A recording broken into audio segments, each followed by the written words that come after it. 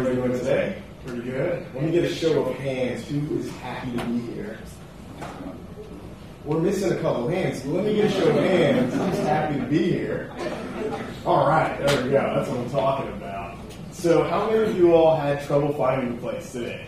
I think we're missing a couple more hands.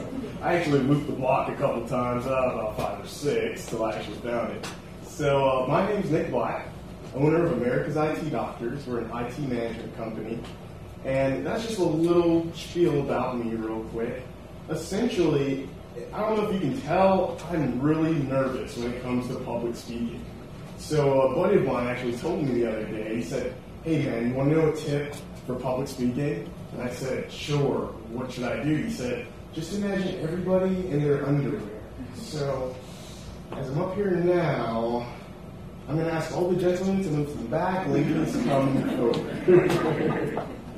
but no, really. Um, how many of you all actually have had some sort of age discrimination incident in your life or day to day? I'm seeing some hands. Let me get some more hands. Okay.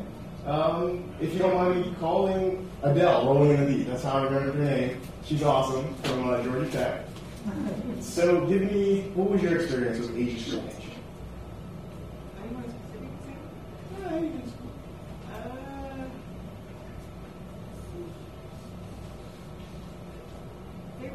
General sort of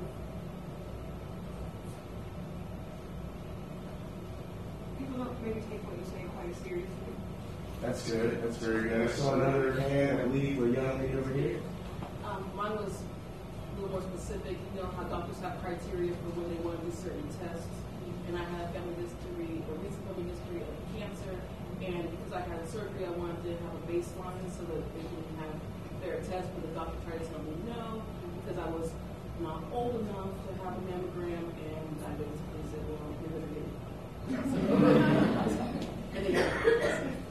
okay, wow, that's, that's, that's, a, good example there. Um, anyone else? I think I may have seen a hand or two over here. Oh, she's like, don't call me, please. um, I think maybe something similar. Uh, when I was younger and in a different position, I, I felt uh, whether or not it was valid. Uh, that yeah, people that were significantly older than me uh, had a different impression of my capabilities, and I would want to show up uh, like stronger and knowing more to prove that I'm, you know, able to be at the table.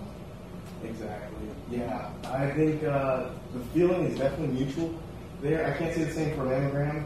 Um, unfortunately, I don't think they're there. That that right there. But in any event, uh, like you're saying, the the feeling of needing to do more, be better, and do twice as much because you want to show them that you're capable, and even uh, like Adele said, just people not taking you seriously per se. So essentially, my day-to-day life, I do a lot of chamber of commerce meetings, a lot of networking, and a lot of people I run into are usually ages 45 and up.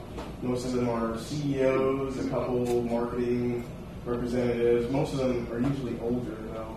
And one common trend that I've found is that at first, they may not be willing to give you that shot initially. And as you talk to them some more, they can see that you're right or whatever the case is, and then they open up to you a little bit. And sometimes that age, that age discrimination barrier, it's there. There's no getting past it but it's fine. Move around it, essentially. So one thing that I've noticed is that I would tell myself that, oh, I'm not old enough, or they are looking at me this way because, once again, the age, the age difference. But it's not always the case. A mentor of mine, I actually met him. He was in North Carolina. I drove about four hours in a cast so I can learn from this guy.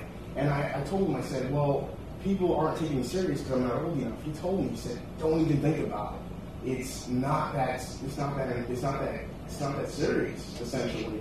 What he was saying was that look at it as a plus. And so the, the age barrier, and look at it as a plus.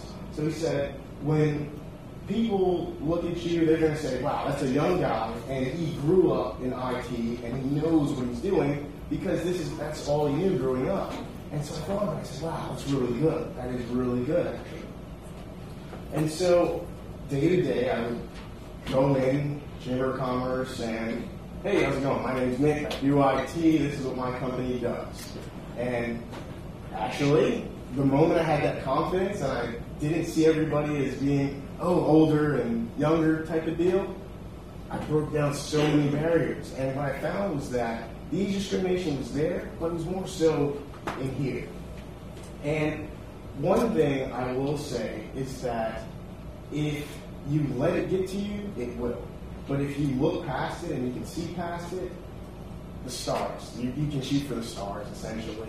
So I would definitely say that it's not who you are that holds you back, it's who you think you are not. If you wanted to play basketball as a kid, oh, I'm not tall enough. Or if you wanted to be a, I don't know, hockey player, well, I'm black and I don't really see many black hockey players. Take all that out of your head. And the first thing I took out of my head was that I'm not old enough. And the moment I got over that, I've been excelling ever since. So essentially, I would say age discrimination is clearly there, but don't let it get to you because when you tell you you are not, when you tell yourself you're not something, that's the moment it holds you back. So tell yourself that I am old enough, I am going to do this, I am tall enough to play basketball if you're only five feet tall. Shoot, you can shoot the ball, I don't know, you can figure it out one way or another. So essentially, that is my talk on age discrimination in the uh, business world, I guess you could say. So, any questions, comments? I'm, I'm gonna, I'm gonna, okay, here we go, this lady right here. Um, so I'm almost 30, and I'm only just now considering getting into tech type stuff, thinking about learning how to code. Um, what about like? I think when you grow up in tech, as a lot of people have now, uh, people do expect for that knowledge to be there. I don't have that. I'm going to be an older person learning how to code and getting into tech. Like what? What kind of advice do you have for somebody who maybe didn't grow up with tech stuff? Really truly, I would say do the reverse either. Find, uh, I think this gentleman over here was talking about the coding and whatnot, and Mike in the back as well. Team up with the younger generations, the ones that grew in it, and then just make it happen. I would say that would be the best way to break through it, yeah. Thank you. Anyone else? I'm gonna pick on Mike. I, I, I know, I know. I got, I got to pick on you. Okay. Um, Question.